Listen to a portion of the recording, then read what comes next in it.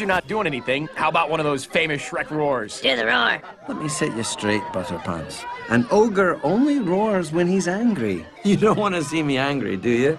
Do it. Hold it together. Just hold it together. Got him. He's getting away. Do something. Oh, good. What happened to the cake? Trust me, it's an improvement. Ugh, You licked it. No. Just because you're an ogre doesn't mean you have to eat like one. Looks like you forgot the candle. Okay, just watch the cake. I'll go get them. Watch the cake. Oh, where's the cake?